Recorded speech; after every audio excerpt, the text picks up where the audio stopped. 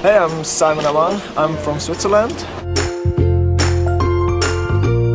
Uh, I think I've been introduced to uh, skiing itself.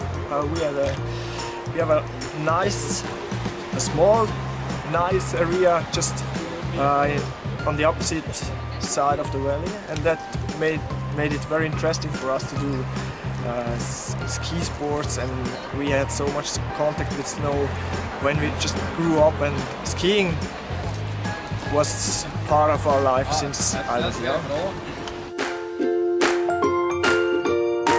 Hey, I see you on World Snow Day.